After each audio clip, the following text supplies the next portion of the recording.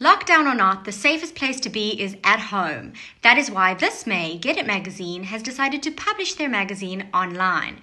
You'll get the same great read without leaving the house, and trust us, you won't want to miss a thing. There's an amazing spoil up for grabs. You can win a Mother's Day hamper, which includes bubbly, jewelry, gin, and cosmetics. If she wins, let's just hope she shares.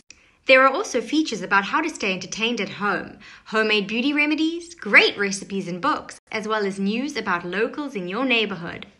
You'll find the eMag online from the 1st of May at www.getitmagazine.co.za.